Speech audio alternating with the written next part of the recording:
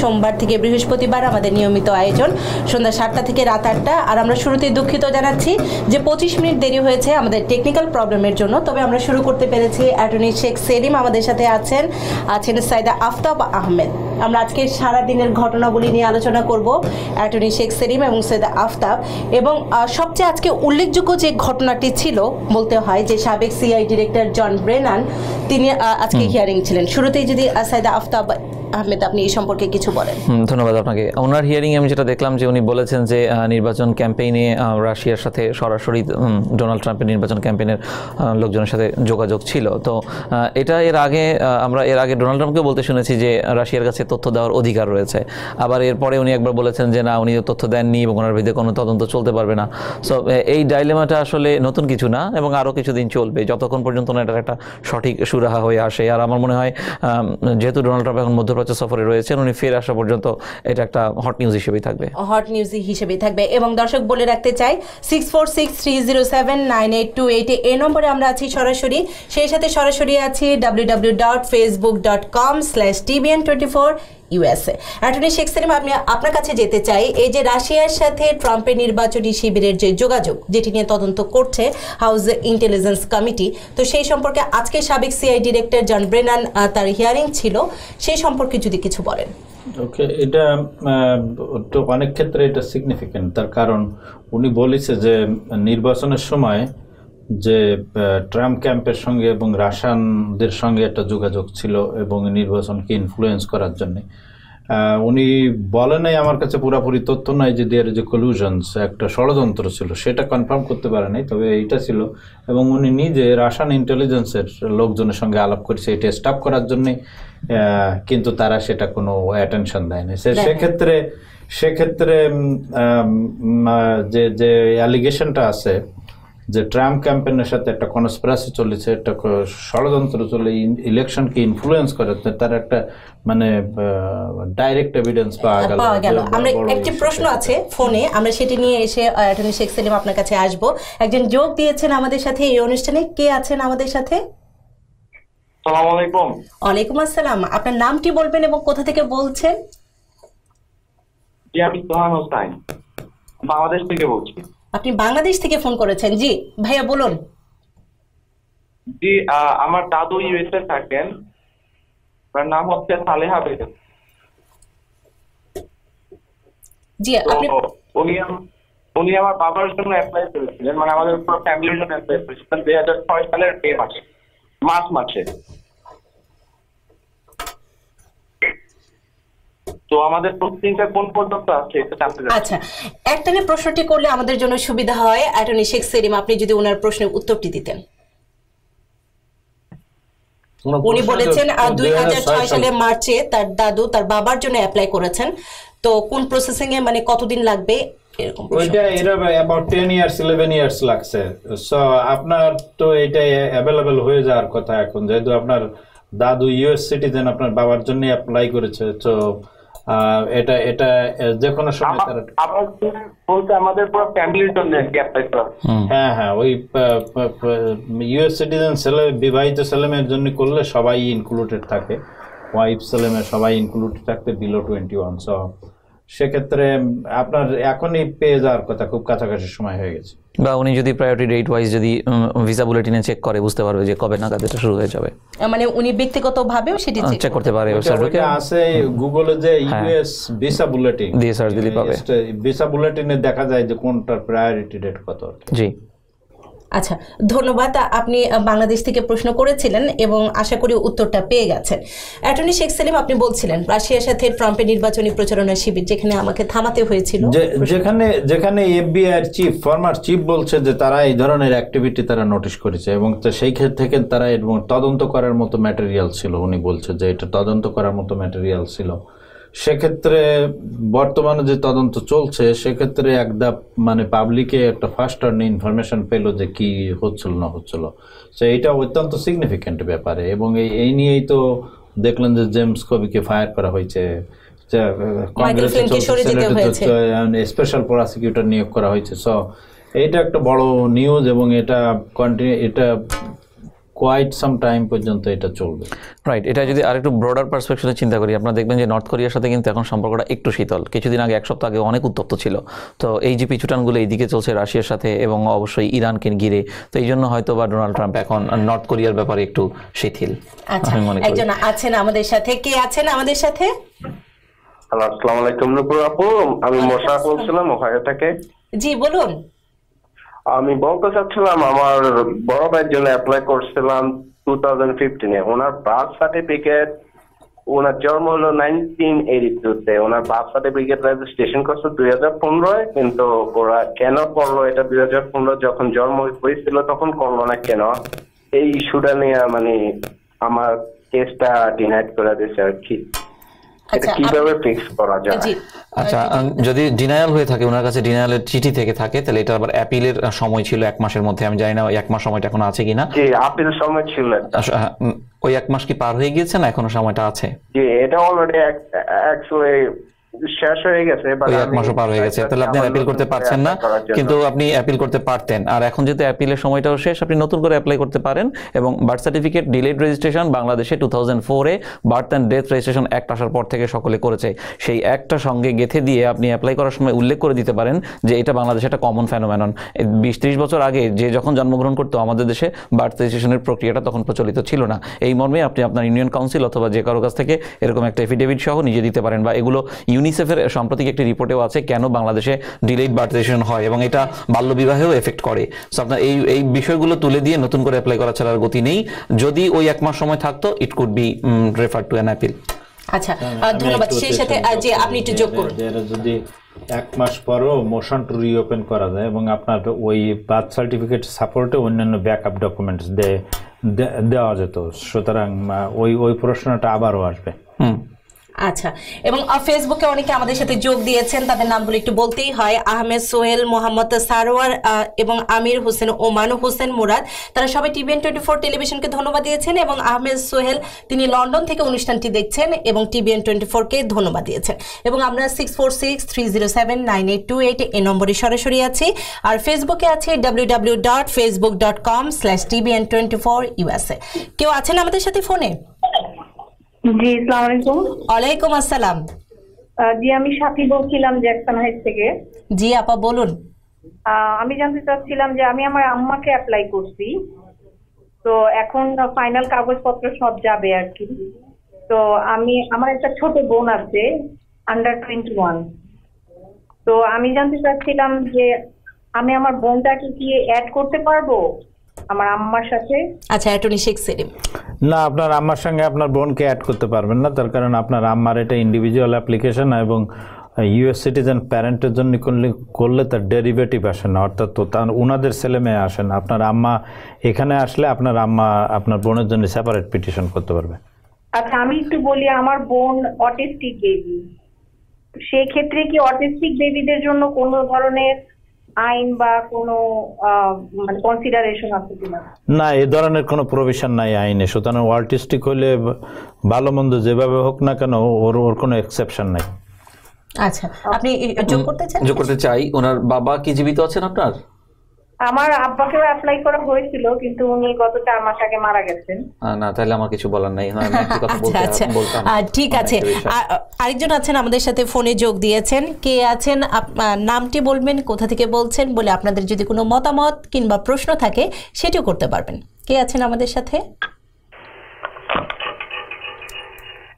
এবং six four six three zero seven nine eight two eight এই নম্বরে আমরা সরাসরি আছি সরাসরি আছি ফেসবুকেও কে আছেন আমাদের সাথে? আসসালামু আলাইকুম সেলিম একটা প্রশ্ন? আপনার স্পিকারটি যদি অড থাকে ভাইয়া একটু স্পিকারটি বন্ধ করে আমাদের প্রশ্ন করতে হবে। জি না আপু আমি স্পিকারে নাই দিয়ে কথা কোনো শব্দ মানে কেটে কেটে যাচ্ছে আপনার কথাগুলো আমরা বুঝতে পারছি না। ও, আমি তাহলে খুলে নেই দাঁড়ান। আচ্ছা আপনি আবার চেষ্টা করুন আমাদের সাথে, কারণ আপনার প্রশ্নটি যদি আমরা সুন্দরভাবে বুঝতে পারি, তাহলে আমরা উত্তরটিও সুন্দরভাবে দিতে পারব। সৈয়দ আফতাব আহমেদ আমরা কথা বলছিলাম যে আজকে সিআই সাবেক ডিরেক্টর তার হিয়ারিং ছিল সেই বিষয়টি নিয়ে এবং তিনি দীর্ঘ কণ্ঠে বলেছেন এবং স্পষ্ট ভাষায় বলেছেন যে রাশিয়ার সাথে ট্রাম্পের নির্বাচনী প্রচারণা শিবিরে সম্পর্ক যোগাযোগ ছিল। তো আপনি বলছিলেন তার আহ, পরেরটুকু আমার মনে হয় যে শেষ পর্যন্ত এটা ইমপিচমেন্ট পর্যন্ত করাবে কিনা সেই সিগনিফিকেন্টের কথা সেলিম ভাই বলেছে। তো এগুলো অনেক কিছু ডিপেন্ড করছে যে তদন্ত থেকে এখন কি বের হয়ে আসে এবং ডোনাল্ড ট্রাম্প এটাকে কি করে ট্যাকল করেন। আর তাছাড়া আপনি দেখবেন যে অন্যান্য আরও কিছু বিষয় কিন্তু এর সঙ্গে ওতপ্রোতভাবে জড়িত। আমরা মধ্যপ্রাচ্যের এই সফরটাকে আমি খুব সিগনিফিকেন্টলি নিতে চাই বিশেষ করে এই সময়ে। কারণ আমরা বারাক ওবামার সময় দেখেছি যে অ্যারাব স্প্রিং নামে সারা মধ্যপ্রাচ্যের রাজনীতি ভূখণ্ড বদলে দেওয়া হয়েছে। তো এখন সৌদি আরবের সঙ্গে যে সক্ষতা তার বিলিয়ন ডলারের বাণিজ্য এবং অবশ্যই জ্বালানি সবকিছু মিলে এই মানে আমি বলতে চাচ্ছি টোটাল বৈশ্বিক রাজনীতির সাথে এই তদন্তটাকে আমি আলাদা করে দেখার পক্ষে না। এটা আচ্ছা, অবশ্যই যোগসূত্র বলছেন যে এটির সাথে মানে একটি যোগসূত্র আছে। অ্যাটর্নি শেখ সেলিম আপনি কি এই বিষয়টি যোগ করতে চান? Well, তদন্ত এটা সেপারেট তদন্ত। আই ডোন্ট থিঙ্ক রাজনীতির সাথে বা অন্য ইন্টারন্যাশনাল রিলেশনশিপের সাথে এটা এটা এটা এটা দুই পার্টির তদন্ত চলছে। একটা একটা কাউন্টার ইন্টেলিজেন্স তো ইয়ে চলছে এবং একটা ক্রিমিনাল ইনভেস্টিগেশন চলছে। আর একটা তদন্ত চলছে যে যেখানে প্রেসিডেন্ট ট্রাম্প ডিরেক্টলি ইনভলভ যে অবস্ট্রাকশন অফ জাস্টিস আমার মনে হয় না যে তারা এই তদন্ত যে ট্র- ট্রাম্প ক্যাম্পের সঙ্গে একটা কলিউশন ছিল এইটা প্রমাণ করে ট্রাম্পরে এ- এতে জড়াইতে পারবে। তবে অবস্ট্রাকশন অফ জাস্টিসে ট্রাম্প পড়ে যেতে পারে তার কারণ আগের সিআইএ ডাইরেক্টর এনএসএ ডাইরেক্টর এসে বলছে যে বলো যে কোনো কলুশন নাই। তারা রিফিউজ করেছে এবং আজকের কংগ্রেসে সিনেটে হিয়ারিং এনএসআই ডিরেক্টর বলছে যে আমি এটা ক্যারেক্টারাইজ করতে পারছি না। সে he refuse to talk about it so there might be there are there definitely some interference or pressure to say something যা তারা বলতে চায় নাই। ওকে সেইটা একটা। এবং কমিরে বলে এনে বলে যে ওরে ছেড়ে দাও এ করে দাও। আর আপনি সেদিন যদি দেখেন যে ইয়ের সেনেটে সেনেটে deputy attorney general Rosenberg right? সে বেরোয় আসার পর পরে দুইজন সেনেটর গ্রাহাম বেশ আচ্ছা একজন আমাদের সাথে হয়তো যোগ দিয়েছেন। কে আছেন ভাইয়া? আসসালামু আপু আমি সেলিম স্যারকে এক প্রশ্ন করতে চাচ্ছিলাম। আচ্ছা জি। অ্যাটর্নি শেখ সেলিমই আপনার প্রশ্নের উত্তর দিবে আপনি করুন। বলেন ভাই বলেন। আহ, আসসালামু আহ, স্যার আমি অ্যাকচুয়ালি টু থাউজেন্ড ওয়ানে এদেশে আসছিলাম। তো এই পর্যন্ত আমি কোনো কিছুতেই মানে জয় কোনো অ্যাপ্লাই করি নাই। বাট সিচুয়েশন যা দেখতেছি আমি এরকম অবস্থাতে থাকা কি ঠিক হবে নাকি আমি অ্যাপ্লাই করতে পারব? ভাই, আপনি টু থাউজেন্ড ওয়ানেতে টু থাউজেন্ড সেভেন্টিন পর্যন্ত ষোলো বছর আছেন। তো আর এই বাদ বাদ দিনগুলো থেকে গেলেই তো চলে যায়। এত কিছু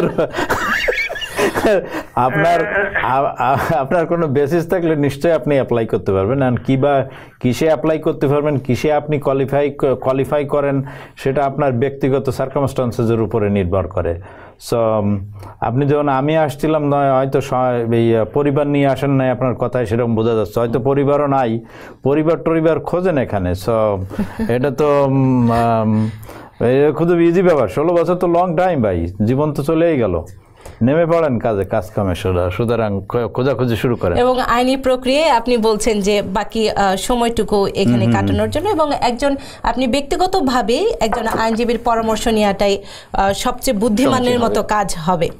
তো আমাকে আমাদের ফেসবুকে অনেকে প্রশ্ন করছেন এবং অনেকেই যোগ দিয়েছেন। বলতেই হয় সেখান থেকে বলতে হয় মঈন খান।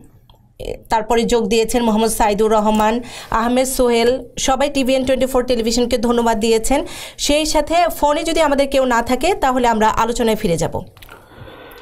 আচ্ছা ফোনের প্রশ্নটি নিয়ে নিই। কে আছেন আমাদের সাথে? কে আছেন আমাদের সাথে? নামটি বলবেন কোথা থেকে বলছেন? আমি থেকে। জি বলুন। আমার অ্যাটর্নি সাহেবের কাছে শেখলেমের কাছে আমার একটা সেটা হলো আমার শালির জন্য শালিকে ডাকছে ইন্টারভিউর জন্য। তো আমি এক্সপোজার নিয়েছিলাম এক ভদ্রলোকের কাছ থেকে টু থাউজেন্ড ফিফটিনের তো এখন সিক্সটিনের আপডেট চেয়েছে। আমি ওকে যখন বলছি যে, ভাই, আমার তো সিক্সটিনের আপডেট চেয়েছে ট্রান্সক্রিপ্ট লাগবে। এখন সে আমাকে চাচ্ছে না সে বলছে ইজ অলমোস্ট তো এই মুহূর্তে আমি এখন কি করব? আমার ইন্টারভিউ হলো জুন জুন ফাইভে সৈয়দ আফতাব আহমেদ আপনি প্রশ্নটির উত্তর দিন। তারপরে প্রশ্নটি সেলিম ভাই বলুক আমার মনে হয় সেলিম একই জবাব দিবে যে নতুন কোনো আচ্ছা স্পন্সর পাঠাতে পারে কিনা। সেলিম ভাই। হ্যাঁ হ্যাঁ ভাই আপনার শালির জন্য তো ইয়ে চাইছে এটা তো বিরাট ব্যাপার। দুলোভাই হিসেবে তো আপনার খুবই সমস্যায় পড়ে গেছেন। সো আপনার মানেজারদের ব্যাপার শ্বশুরবাড়ির দিকে। যাই হোক তো ওই ভদ্রলোককে দেখেন তো তোষামত করে যদি পারেন দেন। আর না হলে অন্য নতুন স্পন্সর জোগাড় করে দিতে হতে পারে। আর যদি অ্যাম্বাসি তারা ওইটা অ্যাকসেপ্ট করে তাও অ্যাকসেপ্ট করতে পারে। তবে আপডেটেড ডকুমেন্ট তাকে, চাইলে ইউজুয়ালি এমবেসি ওইটা প্রসেস নাও করতে পারে। আর যতক্ষণ পর্যন্ত আপনি নতুন জয়েন্ট স্পন্সর দেন বা বা তার ডকুমেন্ট সাপ্লাই করেন। আচ্ছা অসংখ্য ধন্যবাদ। আপনার প্রশ্নের উত্তরটি হয়তো পেয়ে গেছেন। আমাদের আরেকজন আছেন আমাদের সাথে যোগ দিয়েছেন। আমরা সেই প্রশ্নটি নিতে চাই এবং দর্শক বলে রাখতে চাই আমরা ফেসবুকেও সরাসরি আছি W W dot Facebook dot com slash TVN twenty four USA আর আমাদের ফোন নাম্বারটি হচ্ছে যেটি সরাসরি আপনি যোগাযোগ করতে পারবেন সেটি হচ্ছে six four six three zero seven nine eight two eight এই নম্বরে। কে আছেন আমাদের সাথে? জি আসসালামু আলাইকুম। আমি ইমরান বলতেছিলাম জামাইকা কুইন্স থেকে। জি বলুন ভাইয়া। হ্যাঁ আমার প্রশ্নটা ছিল, আমি আমার ওয়াইফের জন্য অ্যাপ্লাই করছি আপনার লাস্ট ইয়ার জুনে তো বর্তমানে আমার কেসটা ন্যাশনাল ভিসা সেন্টারে আছে এবং তারা আমার ডকুমেন্ট অলরেডি রিভিউ কমপ্লিট করছে আপনার মার্চে তো এখনও আমি ইন্টারভিউর কোনো অ্যাপয়েন্টমেন্ট লেটার পাইনি। তো আমি তাদেরকে ফোন দিছিলাম, তারা বলতেছে ইন্টারভিউ লেটারটার জন্য আমাকে ওয়েট করতে হবে। তো এটা আমি জানতে চাচ্ছিলাম যে আমাকে কতদিন আরও ওয়েট করতে হবে? আমি একজন ইউএস সিটিজেন জি হ্যাঁ, স্যার well, খুব কমন প্রশ্ন। আসলে মার্চ থেকে এখন পর্যন্ত খুব যথেষ্ট সময় পার হয়নি। ধারণা করছি তিন থেকে চার মাসের মধ্যে আপনি প্রথম চিঠিটা পাবেন যে চিঠিতে বলা হবে যে পরবর্তী এক মাসের মধ্যে ইন্টারভিউ জন্য কল করা হবে এবং তারপর আপনি ইন্টারভিউ চিঠিটা পাবেন। মার্চ থেকে এখন পর্যন্ত হার্ডলি দু মাস গিয়েছে। তো তিন থেকে চার মাস এখন লাগছে। আর মনে রাখতে হবে এই সময়টা সবসময় ভ্যারি করে। ডিপেন্ড করে ওদের ওয়ার্কলোডটা কেমন তার উপর। So could be two months could be three months সেই সাথে ধন্যবাদ। এবং ফেসবুকেও অনেকে আমাদের প্রশ্ন করছেন ফোনের প্রশ্নটি নেওয়ার আগে আমরা ফেসবুক থেকে অ্যাটর্নি শেখ সেলিম আপনি যদি ছোট করে বলেন কারণ ফোনে অনেকে আমাদের লাইনে আছেন। আবুল কালাম আজাদ তিনি বলেছেন কোনো গ্রিন কার্ড হোল্ডার হয় তার বাবা মার জন্য অ্যাপ্লিকেশন করলে কতদিন লাগবে? গ্রিন কার্ড হোল্ডার বাবা মার জন্য কোনো ইমিগ্রান্ট স্পন্সর করতে পারে না ইমিগ্রান্ট পিটিশন ফাইল করতে পারে না। এমনি ভিজিট ভিসার জন্য নিয়ে আমন্ত্রণ জানাতে পারে আচ্ছা। সুতরাং টাইম লাগার প্রশ্ন আসছে না কেন? আচ্ছা মানে এটি অ্যাপ্লাই করতে পারেন না, উনি জানতে চেয়েছেন। ফোনে আছেন আমাদের সাথে একজন। কে আছেন আমাদের সাথে? আমি আমি বলব? জি জি জি বলুন। আচ্ছা আমার নাম শাহ শাহ আলী। আমার প্রশ্ন হইল আমার প্রশ্ন হইল নভেম্বর নভেম্বর নয় দুই হাজার ছয় আমি অ্যাপ্লাই করছিলাম আমার বনি লাগি। এপ্রিল হয়েছে আঠারো দুই হাজার নয়। আর এপ্রিল লেটার পাইছি আমি আবার উনিশ দুই হাজার দুই। আপনার টেলিভিশনের ভলিউমটি কমিয়ে একটানে প্রশ্ন করলে আপনার জন্য কিন্তু সুবিধা হবে। আর আপনি আচ্ছা, কোথা থেকে বলছেন ভাইয়া সেটা একটু বলে নিতে হবে। সরি সরি সরি সরি জি জি জি। না করুন করুন। আচ্ছা শুনেন আমি বলছি। জি। ওইটুকু আমরা শুনেছি হ্যাঁ, তোমার যদি বলতে পারি। আমার বোনের লাগে অ্যাপ্লাই করছিলাম। হ্যাঁ। নভেম্বর দুই হাজার ছয় আর আঠারো তারিখ পাইছি আঠারো দুই হাজার নয় পাইছি আমি লেটার এপ্রুভেল হয়েছে উনিশ দুই হাজার দুই আর আর এখন পর্যন্ত আমি কোনো চিঠি পাইছি না। ও একটা প্রশ্ন আর একটা প্রশ্ন হইল আমার বউর অ্যাপ্লাই করছিলাম গ্রিন কার্ডের লাগি। একটা লেটার দিছে আমার যে এক বছর লাগি এক বছর বাদে যা যাইব এর ভিতরে এপ্লাই করতে পারবা নি সিটিজেনের লাগে। আচ্ছা ধন্যবাদ। দুইটা প্রশ্ন অ্যাটর্নি শেখ সেলিম। আমার সিলেটের ওকে আপনার প্রথম প্রশ্ন আপনার দুই হাজার সিক্সে অ্যাপ্লাই করেছেন আপনার ভাই বোনের জন্য? দুই হাজার সিক্স এখনও আসে নাই। এখন টু থাউজেন্ড ফোরের প্রথম দিকে মে জুনে যারা যারা অ্যাপ্লাই করেছিল বা এপ্রিল মেতে তারাই লেটার পাচ্ছে। সো আপনার অপেক্ষা করতে হবে ওইটার জন্য ভাই বোনের জন্য। আর একটা আপনি বলছেন অ্যাপ্লাই করেছেন আপনার ওয়াইফের জন্যই আহ, না কি বললেন? আমি এটা হচ্ছে গ্রিন কার্ডের রিনিউয়ালের অ্যাপ্লিকেশন ও গ্রিন কার্ড মানে green card renewal I ninety file করেছেন। সেটা অনেক দিন লাগছে আজকাল। There is a serious backlog backlog মানে আপনার পিছনে অনেক অ্যাপ্লিকেশন আছে। সো প্রসেস হইতে লাগছে। ওইটা রিনিউ হয়ে আসুক বা না আসুক আপনার চিন্তার কোনো কারণ নেই। আপনার ওয়াইফ পার্মানেন্ট রেজিডেন্ট কাগজপত্রে পার্মানেন্ট রেজিডেন্ট ওইটা মাত্র একটা প্রমাণ যে ওনার গ্রিন কার্ড আছে। আসলে উনি অফিসিয়ালি রেজিডেন্ট সো ওইটা নিয়ে চিন্তার তেমন কোনো কারণ নেই। অপেক্ষা করেন টাইম মতো এসে যাবে। আচ্ছা ধন্যবাদ। আরেকজন আছেন ফোনে আমাদের সাথে কে আছেন? আর অবশ্যই আপনার স্পিকারটি বন্ধ করে নেবেন টেলিভিশনের ভলিউম কমিয়ে নেবেন। নিয়ে একটা নিয়ে প্রশ্নটি করলে কিন্তু আমরাই সুন্দরভাবে আপনার প্রশ্নটির উত্তর দিতে পারব। এবং নামটি বলে কোথা থেকে বলছেন সেটি বললেও আমাদের জন্য আমি আমি আমি নিজ আমি আপনার নিউ জার্সি থেকে বলছি। জি বলুন। নামটি? আচ্ছা আচ্ছা আপা আমার ওই আমি অ্যাটর্নিকে সাহেবের কাছে প্রশ্ন করছি। আমার ওয়াইফে আজকে ইন্টারভিউ ছিল। সেই ইন্টারভিউতে বলছে যে পাস করছে। You pass the English speaking like historical government আর কি। ওরা আবার একটা ফর্ম ধরাই দিছে। Follow the instruction on form N fourteen এখন এন ফোরটি ইনস্টা আমি বলতে পারছি এন ফোরটি ইনস্টাটা কি? তারা একটা ফর্ম দিয়েছে আর বলেছে যে ট্যাক্স রিটার্ন আমরা চিঠি দিলে পরে ওই চিঠিটা এবং ট্যাক্স ফাইলের ট্রান্সক্রিপ্টের দিলেতে এখন এটা কতদিনের ভিতরে লাগবে এবং এন ফোরটিনটা কি? এন ফোরটিন ফর্মটা। Okay usually N fourteen is a document request আপনার ওয়াইফ পাস করে গেছে সেটা ভালো সংবাদ you should be proud of your wife so congratulation বলে দিয়েন আমাদের পক্ষ থেকে আপনার ওয়াইফরে ওই যে ওই ট্যাক্স রিটার্ন দেখতে চাইছে তার দেখতে চাইছে তার কারণ কোনো কেউ ইউএস সিটিজেন হইলে তার গুড মরাল ক্যারেক্টার লাগে মানে চরিত্র ভালো লাগে। ওই চরিত্র ভালোর ভিতরে ট্যাক্স দিছে কিনা সরকারের, এইটা একটা অংশ। সো সেইটার হয়তো প্রমাণ চাই চেয়ে পাঠাইছে, সে ট্যাক্স দিছে কিনা। তো আপনার যে ট্যাক্স ফাইল করেছেন আপনারা, সেটা transcript I I internal revenue সার্ভিসে ট্রান্সক্রিপ্ট এনে দিতে পারেন, অথবা ট্যাক্স রিটার্নের কপি থাকলে সেইগুলো সহ এন ফোরটিন সহ, ওখানে ডেট বলা আছে কত দিনের ভিতরে। তো সেটা যে আপনারা হাতে হাতে ডেলিভারি দিয়ে আসতে পারেন, অথবা মেল করে দিতে পারেন। আচ্ছা ধন্যবাদ। আরেকজন আছেন আমাদের সাথে ফোনে এবং সেই সাথে দর্শক বলে রাখতে চাই six four six three zero seven nine eight two eight এই নম্বরে আছি আমরা সরাসরি।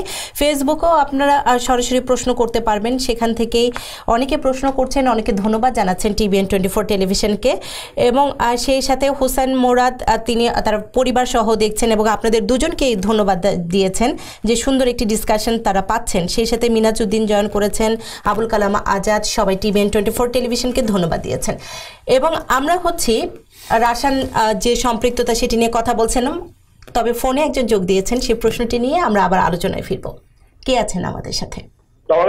আমি খালেদ বলছি। আমি প্রথমে একটা প্রশ্ন করেছিলাম শেখ জি। আমার শালীর ব্যাপারে কিন্তু আমি অ্যান্সারটা পাইনি লাইনটা ডিসকানেক্টেড দয়া করে আমাকে অ্যান্সারটা বলবেন?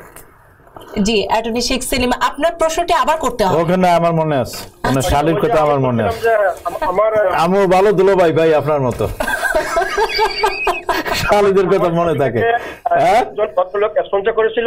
হ্যাঁ আমার মনে আছে ভাই আমি বলতেছি শোনেন আপনার যে যার কাছ থেকে জয়েন্ট স্পন্সর নিয়েছিলেন তার আপডেটেড ডকুমেন্ট চাইছে এমবেসি এখন এই ভদ্রলোক দিতে চাচ্ছে না এটাই তো আপনার প্রশ্ন?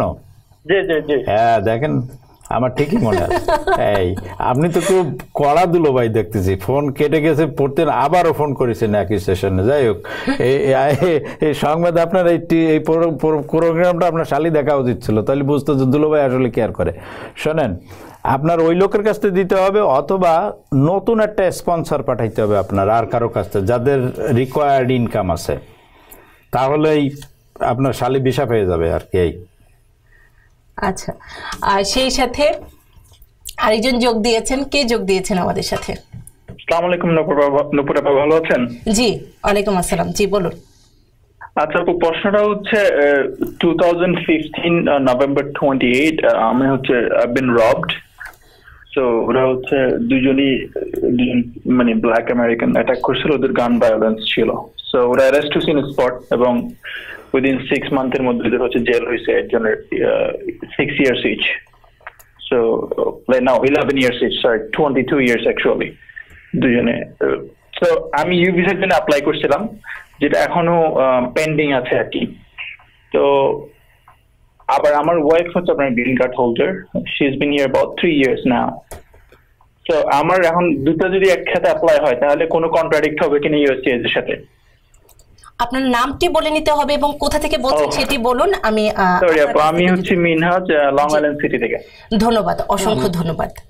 উনি কি অলরেডি ওনার ওয়াইফের মাধ্যমে অ্যাপ্লিকেশন করেছে কিনা সেটা উনি বলেন। না আমি অ্যাপ্লাই করি না এখনও বাট ওই ইউবিসের যেটা আমি নেমিকের মাধ্যমে অ্যাপ্লাই করছিলাম। নেমিক হচ্ছে আপনার northern Manhattan improvement corporation which is. Like free law service তো ওরা হচ্ছে অনেক দেরি করতেছে আর কি অ্যাপ্লাই করতে। তো ওরা এখনও অ্যাপ্লাই করে নাই। অ্যাপ্লাই করলেও অনেক সময় লাগবে। এখন দুটো যদি একসাথে করে তাহলে কন্ট্রাডিক্ট হচ্ছে কিনা। আমি এখন এফ ওয়ান স্ট্যাটাসে আছি। আমি বলব যে ইউ আমি সেলিম ভাইয়ের মতামত চাইব তবে আমি বলব ইউ ভিসার সাথে আপনার গ্রিন কার্ড হোল্ডিং অ্যাপ্লিকেশনটা কন্ট্রাডিক্ট করবে না বিকজ ইউ ভিসার আপনি ডোমেস্টিক ভায়োলেন্সকে বেস করে করেন নাই because you you have been robbed R green card যেহেতু ওয়াইফের মাধ্যমে আপনি এখন অ্যাপ্লিকেশন করবেন আপনি ওদেরকে জানাতে পারেন যে টোয়াইস অ্যাপ্লিকেশন আপনার জমা আছে বাট এটা কোনো কন্ট্রাডিক্ট হওয়ার কথা না।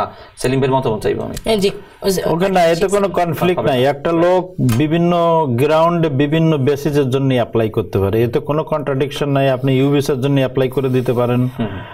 তবে U visa takes long time আর আপনার ওয়াইফ গ্রিন কার্ড হোল্ডার সেটাও করে দিতে পারেন। যেহেতু আপনার এফ অন স্ট্যাটাস আছে।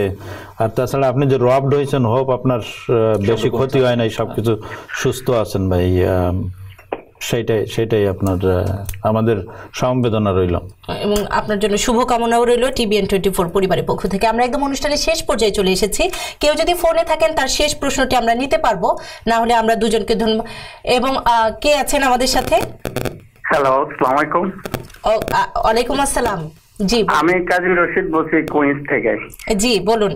আপনাদের সবাইকে প্রথমে অনেক অনেক ধন্যবাদ এই প্রোগ্রামটার জন্য। আমরা অনেকে উপকৃত হচ্ছি। আমার কোশ্চেন হলো যে কোনো একজনেই আমাকে উত্তর দিতে পারবেন অসুবিধা নেই।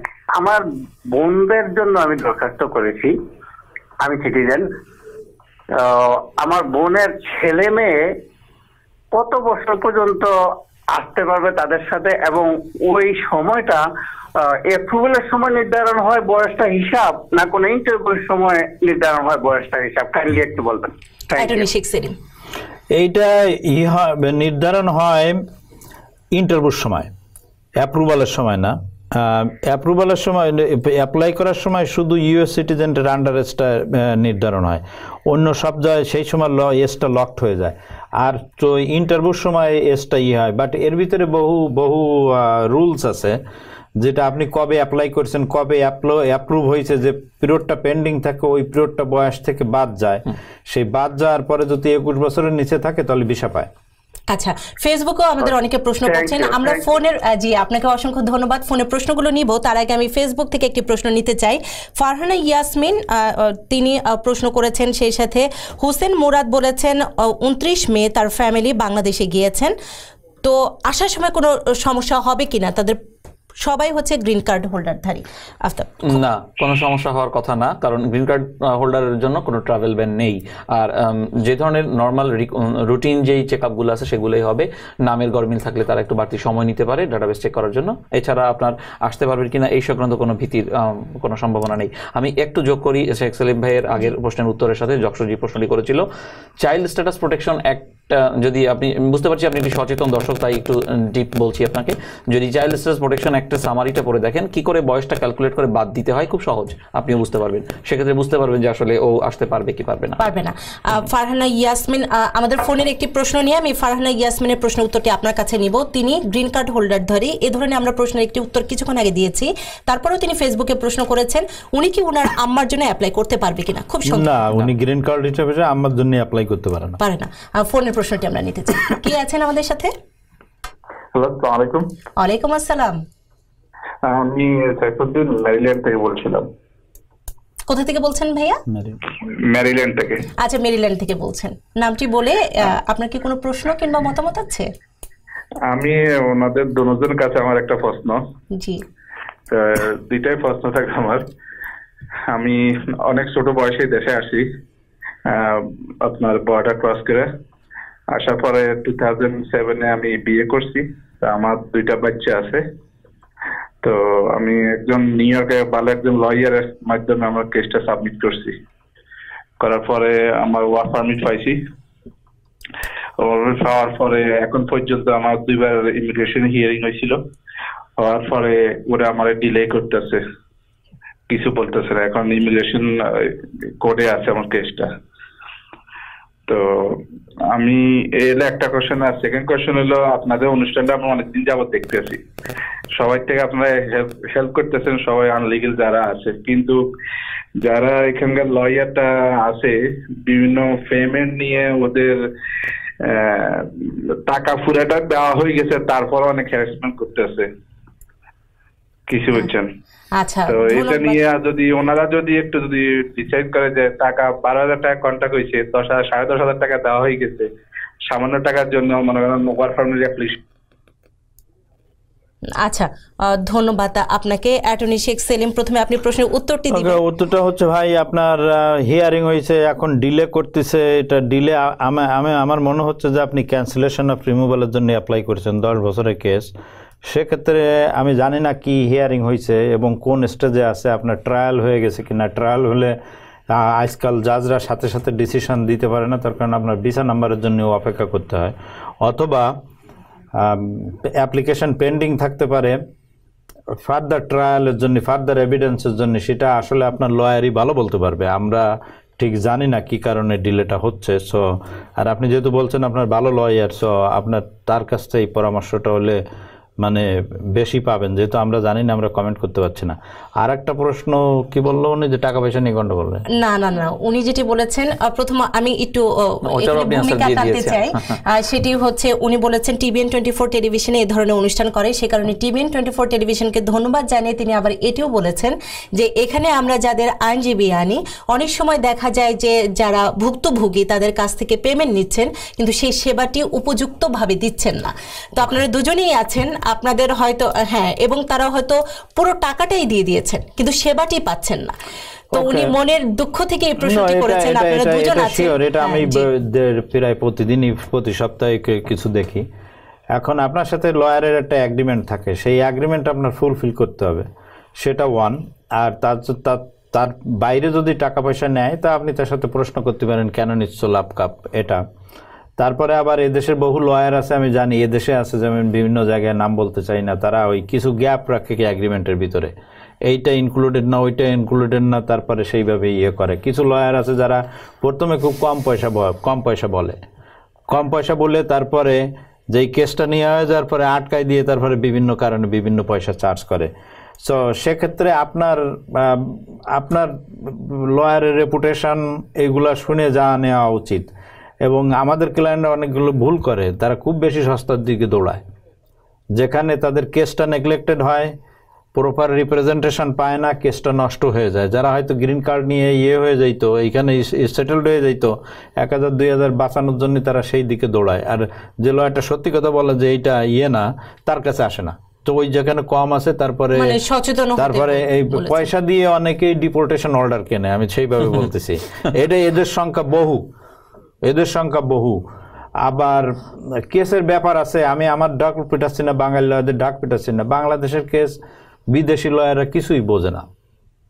ওকে এরা বাংলাদেশ সম্পর্কে কিছু জানে না। আর আপনি যদি সেই লয়ারের সাহায্য করতে পারেন, তাহলে আপনি নিজেই করতে পারেন, যেহেতু আপনি আপনি সব কিছু জানেন না।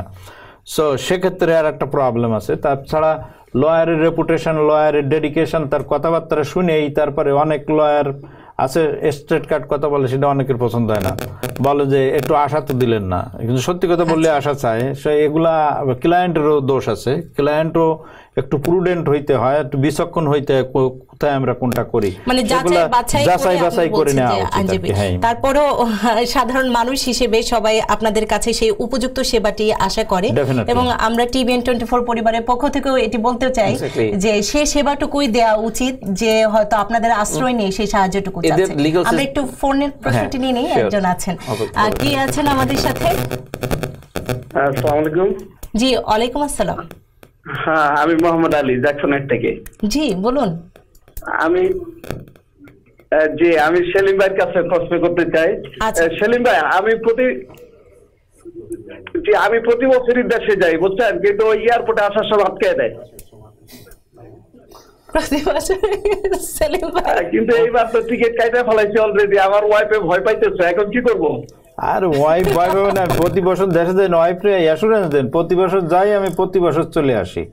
সো এখানে তো আপনার তো দেশে যান আপনি লাকি লোক আপনার তো ভয় পাইলেও ভয়ের কোনো কারণ নাই যেহেতু আপনার স্ট্যাটাস আছে আপনি মোহাম্মদ আলী তো এই জন্য মানে আটকানা প্রায় এক দেড় ঘণ্টা রাখে আটকে। অনেক সময় ডেটাবেজে বিভিন্ন আপনার হয়তো সিমিলার নাম আছে ইয়ে আছে এটা কয়েকবার যাওয়ার পরে এটা ঠিক হয়ে যায় বুঝছেন ওরা? তার কারণ ওরা অ্যাপ্রোপ্রিয়েট নোটেশন রেখে দেয় বিভিন্ন সময়, তখন আর এইটা হয় না। ভাই আমার আমারও একবার আটকাইছিল। আমার বলে কি ইমিগ্রেশন অফিসার যে, আমি, তুমি কোথায় গেছিলে? বলে বাংলাদেশ। না না, আমি জানি তুমি ইন্ডিয়া গেছিলে। আই আই হেট ইন্ডিয়া আমার এক্স ওয়াইফ ইন্ডিয়াতে সো তুমি করতে জানলে এটা? তারপরে এসে দিয়ে বলে তুমি কি করো? বলে আমি অ্যাটর্নি যাও যাও শিগগিরি যাও। তো এটা সবসময় হয়ে থাকে বিভিন্ন লোকের ঠিক আছে? বিভিন্ন এটি আপনি যদি খুব ছোট্ট করে যোগ করেন কারণ আরেকজন ফোনে আমি আগে দশকের কথা বলছিলাম যে এই দেশের লিগাল জাস্টিসটা এত সুন্দর করে সাজানো ফ্রি লয়ার যেমন আছে তেমনি ওনারা নিজেরাও করতে পারে। ফ্রি লয়ারটাকে ওরা বলছে প্রোবনো আর আপনি যদি নিজের কেস নিজে করেন কোর্টে সব ধরনের সুযোগ সুবিধা ইন্টারপ্রিটেশন আপনাকে দেওয়া হবে। ওটাকে বলছে প্রোসে সো এখানে আসলে অ্যাটর্নির ধাঁধায় পড়ার কোনো সুযোগ নাই যদি ভাই যেটা বলেছে ক্লায়েন্ট যদি একটু প্রুডেন্ট হয় যে বুঝতে পারে যে আমার আসলে কি করা উচিত কার কাছে যাওয়া উচিত এবং আপনি কি করতে যাচ্ছেন ক্লায়েন্টকে যদি আগে থেকে অ্যাটর্নিকে যদি আগে জিজ্ঞেস করে নেন আমার। যেমন উনি ঠিক করে জানে না ওনার অ্যাপ্লিকেশনটা কি ক্যান্সেলেশন অফ রিমুভাল কিনা ওয়েভার কিনা কারণ উনি কীভাবে আসছে না কোনো ইন্সপেকশন হয়েছিল কিনা। আমাদের এখানকার যারা আসেন তারা জানেন না বলেই তো আইনজীবী সহায়তা নেন। হ্যাঁ কিন্তু আইনজীবীর সঙ্গে যখন পরামর্শটা করবে তখন আইনজীবী আমাকে কি সেবাটা দিবে সেটা তো আমার জানতে হবে। জানতে হবে। আমার জন্য উনি কি করবে? আমি আমি আর একটু ইলাবোরেট করি সামান্য একটু। আপনার এই এক লয়ার না দুই তিন লয়ারের কাছে যাইতে পারেন। তার কারণটা আপনার এই সমস্ত ইমিগ্রেশন ব্যাপারটা পর অত্যন্ত গুরুত্বপূর্ণ। তার কারণে আপনার হোল কেসটা রুইন্ড হয়ে যাইতে পারে ধ্বংস হয়ে যাইতে পারে আবার এইটাই আপনার এই দেশে থাকার ইয়ে দিতে পারে। আমি জানি লোক আছে আমি গত বছর এই কয়দিন আগে একজনের কেস অ্যাপ্রুভ সে পঁয়ত্রিশ বছর পরে লিগাল হয়েছে। এবং তার মনে হয় এগারো বারোটা লয়ার ছিল বিভিন্ন জায়গায়। আমার কাছে আসতে দেখছি যে সিম্পল বিশ্বাস হবে কি না হবে পঁয়ত্রিশটা লয় মানে দশ এগারোটা লয়ার বিভিন্ন জায়গায় বিভিন্ন ভুল করেছে। আচ্ছা। কিন্তু পঁয়ত্রিশ বছর এই লোকটা সাফার করেছে। সেটি। একজন আছেন আমাদের সাথে। কে আছেন আমাদের সাথে? হ্যালো। জি বলুন। সালামালাইকুম আমি রেজাউল ব্রঞ্জ থেকে বলছিলাম। প্রথমে আপনাদের সবাইকে ধন্যবাদ এই ধরনের একটা প্রোগ্রাম করবার জন্য। আপনাকেও ধন্যবাদ। জি বলুন। আমি সিটিজেন আমি দু হাজার ষোলোর নভেম্বরের শেষে আমার মার জন্য দরখাস্ত করি। আর কতদিন লাগতে পারে তার মানে ভিসা ভিসা পেতে? আচ্ছা অ্যাটর্নি শেখ সেলিম আচ্ছা আচ্ছা। আচ্ছা আমি বলছি উনি যেহেতু ষোলো নভেম্বর অ্যাপ্লিকেশন করেছে অলরেডি একটি বা দুটি চিঠি আসার কথা, আর আশা করছি সব মিলে এগারো থেকে দশ মাসের মধ্যে, দশ থেকে এগারো মাসের মধ্যে এটা কমপ্লিট হবে, অর্থাৎ ভিসা পাওয়া পর্যন্ত। তো আপনি জানি না কটা চিঠি পেয়েছেন এবং ফার্দার প্রসেসগুলো সম্পন্ন করেছেন কিনা ট্যাক্স ফাইল জমা দিয়েছেন কিনা, বাকি ফিগুলো একশো বিশ ডলার একটা ফি আছে, তিনশো পঁচিশ ডলার একটা ফি আছে, পরবর্তী লেভেলে আর কি। ওগুলো যদি দিয়ে থাকেন, এখন সময় হয়ে গেছে, আর দু এক মাসের মধ্যে আপনি ইন্টারভিউ চিঠি পাওয়া উচিত। আচ্ছা ধন্যবাদ আপনাদের। সেই সাথে আপনাদের ফোন কলের জন্যই আমাদের অনুষ্ঠানটি এত লম্বা করতে হয়েছে। সেই সাথে কেউ যদি ফোনে না থাকেন, আমরা অনুষ্ঠানে শেষ করব। একজন আছেন, তার প্রশ্নটি নেওয়ার আগে আমি ফেসবুকে যারা প্রশ্ন করছেন এবং যারা আমাদের ধন্যবাদ জানাচ্ছেন, তাদের নামগুলো একটু বলতেই হয়। সেটি বলে আপনার প্রশ্নটি এবং এটি আজকের অনুষ্ঠানের শেষ প্রশ্ন হবে এবং কালকে আবার আমরা একই সময়ে হাজির হব, তখন আপনারা একই নম্বরে প্রশ্ন করে আপনাদের প্রশ্নের মতামত জেনে নেবেন। হোসেন মুরাদ ধন্যবাদ জানিয়েছেন, আরিফ ধন্যবাদ জানিয়েছেন, রানা তিনিও ধন্যবাদ জানিয়েছেন। সবাই ধন্যবাদ জানিয়ে এবং বলছেন এটি খুব ভালো একটি অনুষ্ঠান, মানুষের জন্য অনুষ্ঠান এবং টিভিএন টোয়েন্টি ফোর টেলিভিশনের প্রতিটি অনুষ্ঠানই আপনাদের কথা চিন্তা করে আপনাদের জন্যই করে থাকে। কে আছেন আমাদের সাথে? কে আছেন আমাদের সাথে? আচ্ছা লাইনটি কেটে গেছে সেটা আমি অনুষ্ঠানটি শেষ করতে হচ্ছে আপনাকেও অসংখ্য ধন্যবাদ শেখ সেলিম আপনাকেও অসংখ্য ধন্যবাদ। এবং সেই সাথে দর্শক এতক্ষণ যারা আমাদের এই অনুষ্ঠান দেখেছেন যারা ফেসবুকে যোগ দিয়েছেন যারা টেলিভিশন ফোনের মাধ্যমে প্রশ্ন করেছেন টেলিভিশনে দেখেছেন সবাইকে ধন্যবাদ জানাচ্ছি।